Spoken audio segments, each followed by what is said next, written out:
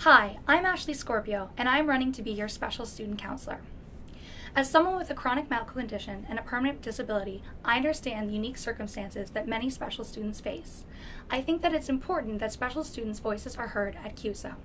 I'm honest and hardworking and will do my very best to voice these concerns at CUSA and represent special students. Please vote Ashley Scorpio for Special Student Councillor. For more CUSA election coverage, make sure to visit our website at charlatan.ca. And don't forget to follow us on Twitter for the most recent updates.